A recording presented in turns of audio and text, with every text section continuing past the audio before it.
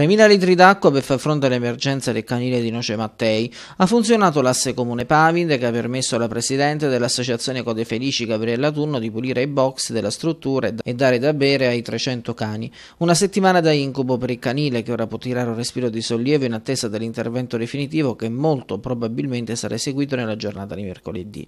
Tutto è cominciato la scorsa settimana quando il quadro delle pompe dell'acqua che alimentano il pozzo si sarebbe bruciato. Che quella pompa si sia bruciata è molto strano strano, tant'è che si dovrà capire il perché. Nel frattempo, sotto il sole battente, era diventato davvero un calvario per i cani e la loro amica Gabriella Tunno. Questi giorni ho fatto i salti mortali, ma i nostri amici a quattro zampe hanno ricevuto tutti acqua fresca ogni giorno, rimarca la presidente di Code Felici. Ora si spera che le emergenze cessino una volta per tutte.